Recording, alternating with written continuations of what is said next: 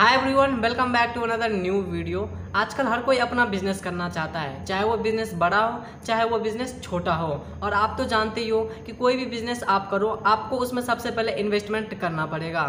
और यदि आप फ्लैक्स प्रिंटिंग का बिज़नेस करना चाहते हो तो आज की ये वीडियो स्पेशल आपके लिए है। क्योंकि आज की इस वीडियो में आपको बताने वाला हूँ कि फ्लैक्स प्रिंटिंग का बिज़नेस करने में आपको किन सब चीज़ों की ज़रूरत पड़ने वाली है और आपको कितना इन्वेस्ट करना पड़ेगा। और यहाँ पे मैं आपको एक बात बता दूँ कि यदि आप फ्लैक्स प्रिंटिंग का बिज़नेस करना चाहते हो तो आपको थोड़ा बहुत तो फ्लैक्स प्रिंटिंग का नॉलेज होना चाहिए। जैसे कि फ्लैक्स प्रिंटिंग को कैसे चलाते हैं डिज़ाइनिंग कैसे बनाते हैं तो यदि आप ऑनर बनोगे तो उतना तो आपके पास नॉलेज होना ही चाहिए, ताकि आप अपने बिज़नेस को प्रॉपर तरीके से चला सको। तो अब हम बात कर लेते हैं कि फ्लैक्स प्रिंटिंग का बिज़नेस करने के लिए आपको किन सब चीज़ों की ज़रूरत पड़ने वाली है।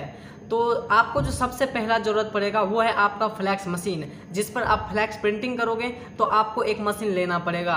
और यदि आप मार्केट में नया मशीन लेते हो, कम से कम 12 से 13 लाख के आसपास पड़ेगा। या आप जैसा मशीन लोगे, जिस भी कंपनी का लोगे, हर कंपनी का अपना अलग अलग रेट है। तो यदि आप पहली बार बिज़नेस कर रहे हो तो आपको मार्केट में सेकेंड हैंड फ्लैक्स मशीन भी मिल जाएगा, जो कि आपको दो लाख, तीन लाख जैसा मशीन होगा, जिस कंडीशन में आपका मशीन होगा, वैसा आपको सेकेंड हैंड मशीन का रेट भी होगा।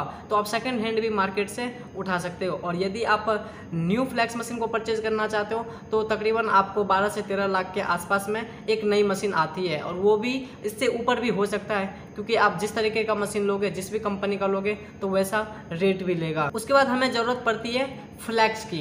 फ्लैक्स मतलब मैं आपको बता दूँ मीडिया जिस पर हम अपना प्रिंटिंग करते हैं तो आपको मीडिया को भी परचेज करना पड़ेगा। अब मीडिया कई सारे क्वालिटी में आते हैं। नॉर्मल आता है सी फ्लैक्स आता है जी फ्लैक्स आता है स्टार फ्लैक्स आता है बैकलिट आता है, कई तरह के फ्लैक्सें भी आते हैं। लेकिन आपका बिज़नेस अभी स्टार्टिंग का बिज़नेस है तो आप कोशिश करिए कि आप नॉर्मल फ्लैक्स का यूज़ कीजिए क्योंकि वो आपको सस्ता भी पड़ेगा और आपका जो नया कस्टमर है, वो आपसे ही प्रिंट करवाएगा, क्योंकि आप उसको सस्ते रेट में दोगे।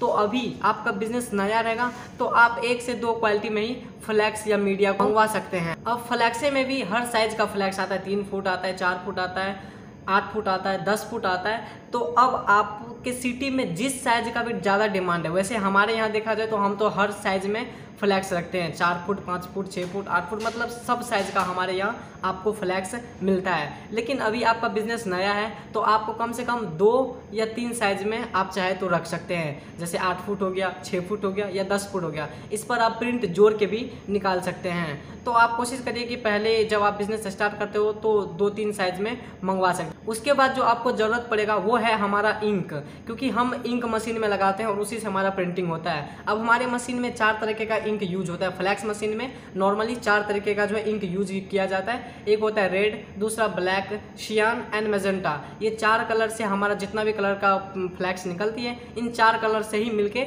हमारा फ्लैक्स निकलता है। तो आपको इन चार इंक को भी परचेज करना पड़ेगा। अब ये हर साइज़ में भी आता है। पाँच लीटर में भी आता है, दो लीटर में भी आता है, एक लीटर में भी आता है। तो आप जिस भी साइज़ में आप इसको खरीदना चाहते हो तो आप पाँच लीटर का खरीदना चाहते हो तो पाँच लीटर का बोतल खरीद सकते हो, या दो लीटर का खरीद सकते हो, या एक लीटर का भी खरीद सकते हो। तो आपको ये चार इंक खरीदना पड़ेगा, क्योंकि ये आपके फ्लैक्स प्रिंटिंग में यूज़ किया जाता है। उसके बाद आपको ज़रूरत पड़ेगा एक सिस्टम का, क्योंकि सिस्टम में आपको प्रिंटिंग सॉफ्टवेयर रखना पड़ेगा, और उसी सॉफ्टवेयर से आप अपने मशीन को हैंडल करोगे कि आपको कितना प्रिंट चलाना है, नहीं चलाना है, कब पॉज करना है, वो आप प्रिंटिंग सॉफ्टवेयर से ही कर पाओगे। तो आपको ज़रूरत पड़ेगा एक सिस्टम का तो आपको उसके लिए एक सिस्टम भी बैठाना पड़ेगा। तो ये मैंने आपको मोटा मोटी बता दिया है कि जो आपको खरीदना ही पड़ेगा, इसके बिना आपका ये बिज़नेस नहीं चल पाता। तो मैंने आपको ये सारी चीज़ बता दिए हैं। उसके बाद रह गया आपका डिज़ाइनिंग डिज़ाइनिंग के लिए यदि आपको खुद से डिज़ाइनिंग आता है तो मैं पहले आपको सजेस्ट करूँगा कि यदि आपका नया बिज़नेस है तो आप खुद से ही डिज़ाइनिंग कर सकते हैं। और यदि आपको फ्लैक्स प्रिंटिंग चलाना आता है, तब तो और भी अच्छी बात है,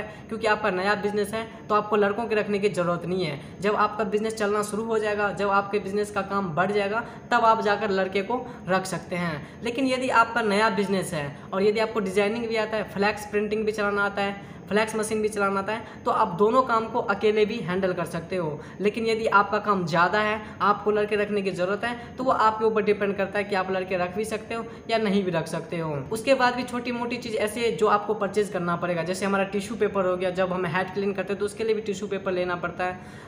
मतलब छोटी मोटी चीज़ ऐसे बहुत सारे हैं जो आपको बाद में धीरे धीरे जब आपका बिज़नेस चलना शुरू हो जाएगा तो आपको बिज़नेस का आइडिया भी आता रहेगा।